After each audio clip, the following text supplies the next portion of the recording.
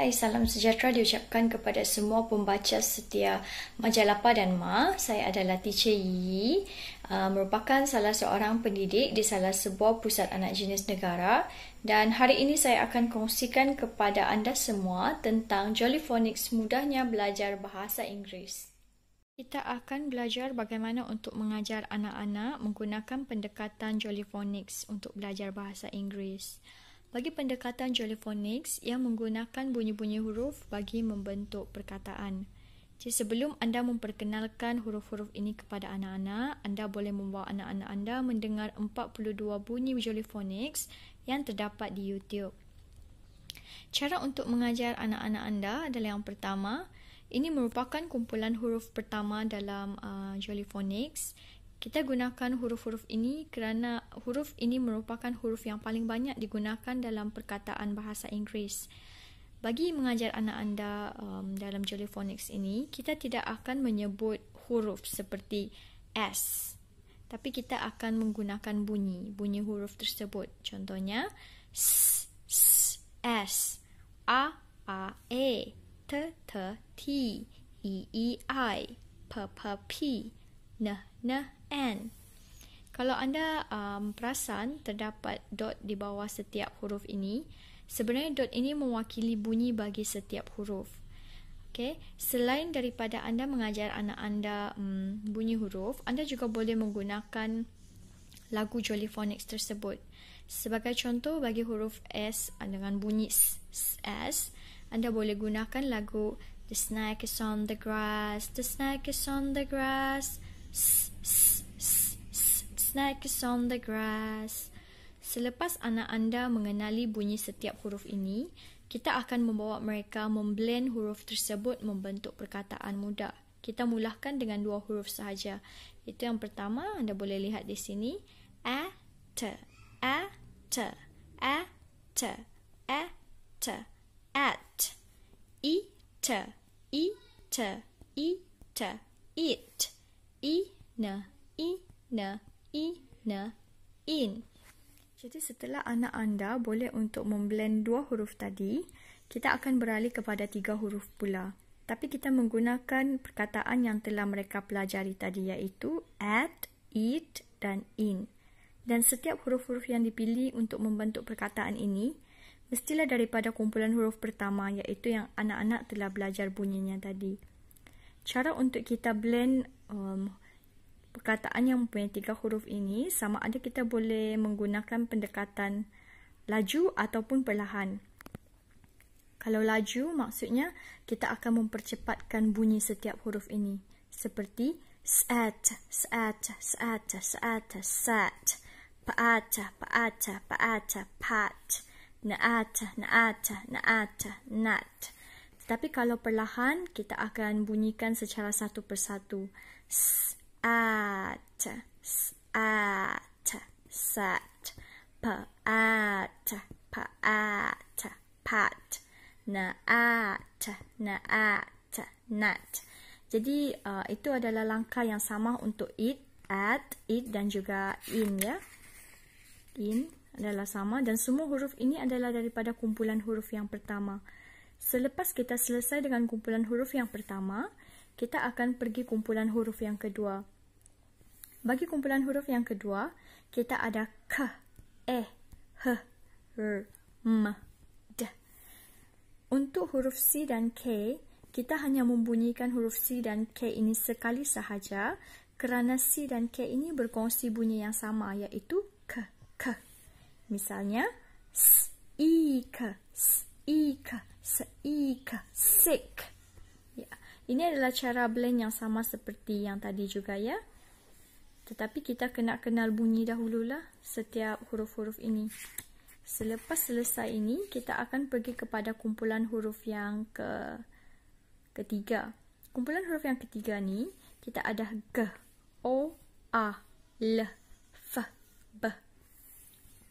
Kalau anda lihat, kita bermula daripada dua huruf tadi. Sekarang kita pergi kepada empat huruf daripada dua huruf kepada tiga huruf dan kemudian empat huruf. Cara untuk blend juga adalah sama. Misalnya g i f t g i f t gift. Frog, frog, frog.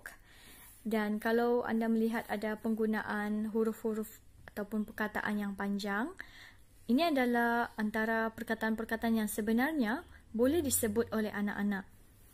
Contohnya kita lihat sini, rabbit. Cara untuk kita blend adalah ra, a, b, it. Ra, a, b, it rabbit rabbit. Kita tidak akan membunyikan huruf b ini sebanyak dua kali. Kalau anda lihat noktanya hanya ada satu titik hanya satu. Maksudnya bunyinya adalah sekali.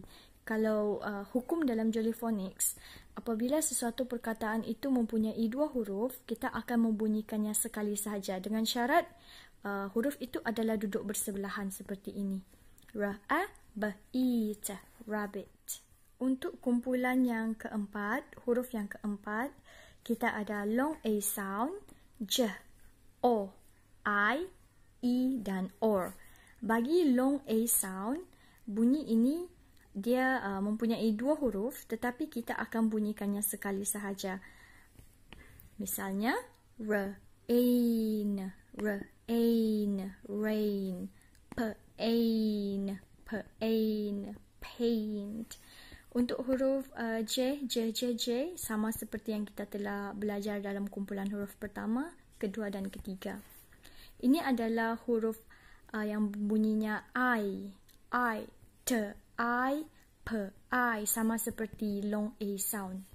E juga adalah sama dan selepas itu kita akan ke kumpulan huruf yang kelima. Bagi kumpulan huruf yang kelima, anda boleh melihat huruf uh, Z, W, dan juga v, v, v. Kesemua uh, bagi ketiga-tiga huruf itu, anda boleh menggunakan kaedah yang sama seperti dalam kumpulan huruf pertama yang kita belajar tadi. Tapi untuk N dan G, kita bunyikannya sebagai eng. Misalnya anda boleh lihat di sini, se-ing, se-ing. So, dia akan jadi sing. Bagi huruf uh, O pula, yang ada dua O ni, dia ada bunyi uh, long O sound dan juga uh, short O sound. Sebagai contoh, kalau yang ini adalah long O sound, kerana bunyinya akan jadi seperti ini. Ma'un, ma'un. Bagi yang ini pula, um, dia akan jadi pendek. O yang pendek, bunyi O yang pendek. Ba'uk, ba'uk, book. This one is ma'un. Bulan huruf yang seterusnya, uh, kita melihat di sini kebanyakan huruf bergabung menjadi dua tetapi menghasilkan satu bunyi. Contohnya, ini mempunyai dua huruf, ini dan juga ini. Tetapi hanya akan menghasilkan satu bunyi iaitu ch, t, sh. Bagi uh, dua huruf ini, cara blending adalah sama macam sebelum ini. Bagi yang ini pula, dia akan jadi b, a, n, ch, b, bunch, t, t, t, r, e, t, r, e, tree, sh, sh, sh, e, p, sh, e, p, sheep. Ini merupakan uh, kumpulan huruf yang terakhir. Kita ada ku, au, oi, iu, er. Jadi untuk uh, yang terakhir ini, kumpulan yang terakhir, kebiasaannya akan mempunyai dua huruf yang membentuk satu bunyi. Contohnya yang ini. Uh, kita tidak akan membunyikannya sebagai ku a, ku a. Tapi kita akan bunyikannya sebagai ku, ku, ku, ku, wa, ak, ku, ak, ku, in, ku, in. Bagi yang ini pula, kita tidak akan membunyikannya sebagai oh ah, oh ah. Kita akan bunyikannya sebagai ow, ow, sh, out, sh, out.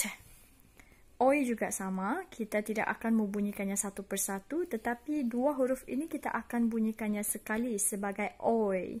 Contoh yang boleh dilihat, ke oin, oin coin.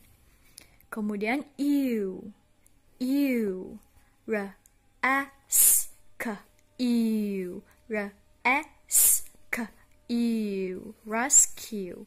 Dan juga er, w, in t er w in t er winter. Jadi itu adalah um, tujuh kumpulan huruf yang boleh diajar kepada anak-anak supaya mereka lebih mudah untuk membaca perkataan dalam bahasa Inggeris dengan menggunakan bunyi-bunyi ini. Sekarang saya kongsikan tips mudah kepada semua peminat majalah Pa dan Ma bagaimana untuk kita menggunakan pendekatan Jollyphonics ini bagi membimbing anak-anak belajar bahasa Inggeris. Bagi tips yang pertama, ibu bapa perlulah memperkenalkan lagu Jollyphonics terlebih dahulu.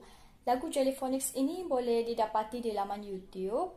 Ia bukan sahaja mengajar lagu semata-mata tetapi mengajar bunyi huruf dan juga pergerakan yang membolehkan anak-anak lebih mudah mengingati uh, setiap bunyi huruf yang terdapat dalam.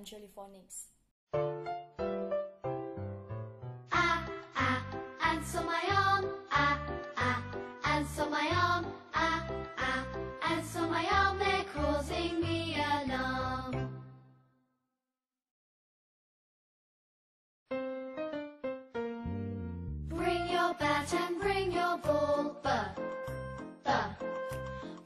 Your bat and bring your ball to the park to play.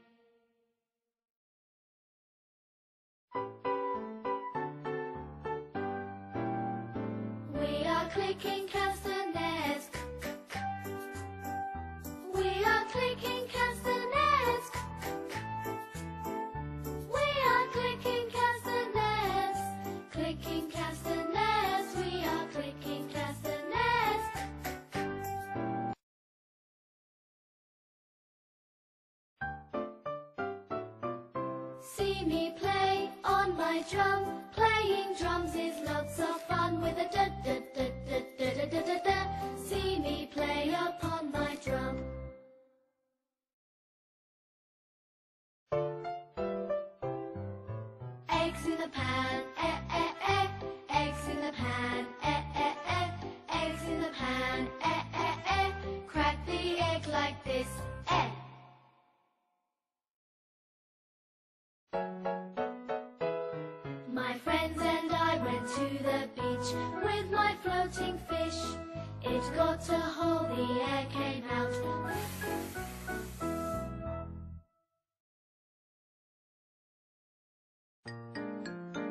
The water gurgles down the drain. The water gurgles down the drain.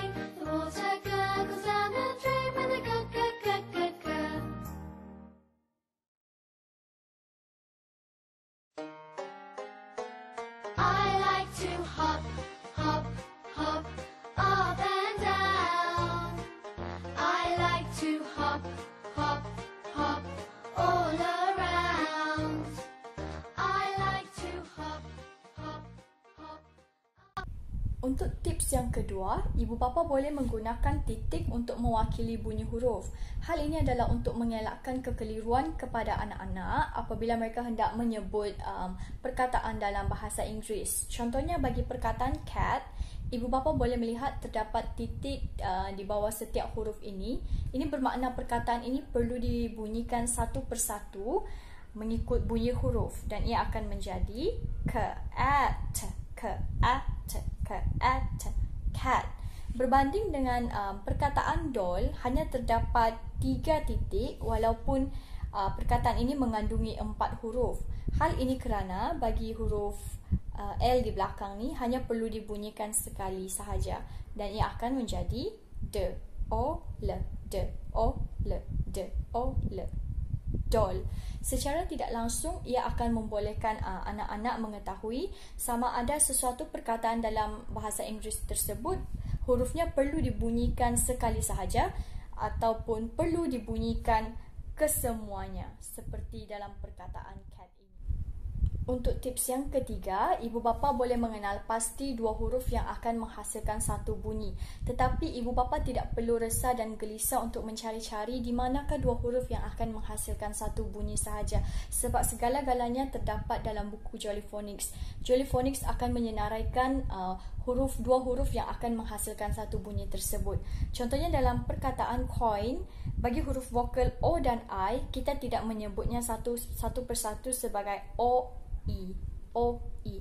Tetapi anda melihat hanya terdapat satu titik di bawah. Maknanya bagi huruf O dan I, kita akan membunyikannya sebagai OI. Ke, OIN, ke, OIN. Begitu juga dengan perkataan pain, kita tidak membunyikannya sebagai A, E. Tetapi huruf vokal A dan I akan dibunyikan sebagai A, P, Ain, P, Ain. Untuk tips yang keempat, ibu bapa perlu untuk mengenal pasti dua huruf yang sama dan duduk bersebelahan akan menghasilkan satu bunyi sahaja. Contohnya dalam perkataan smell dan juga peel. Bagi huruf L di belakang, kedua-dua huruf ini adalah huruf yang sama dan duduk bersebelahan, maka ia hanya perlu untuk dibunyikan sekali sahaja. Jadi perkataan ini akan menjadi smell, smell, p i l p i l peel berbanding jika ia dibunyikan sebanyak dua kali makna perkataan tersebut akan hilang dan ia akan menjadi sm e l l sm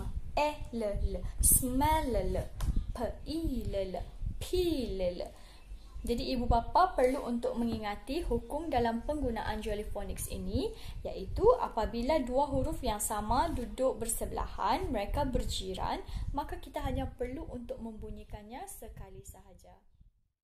Tips yang kelima, ibu bapa boleh menggunakan buku dualiphonics bagi membimbing anak-anak mempelajari perkataan bahasa Inggeris.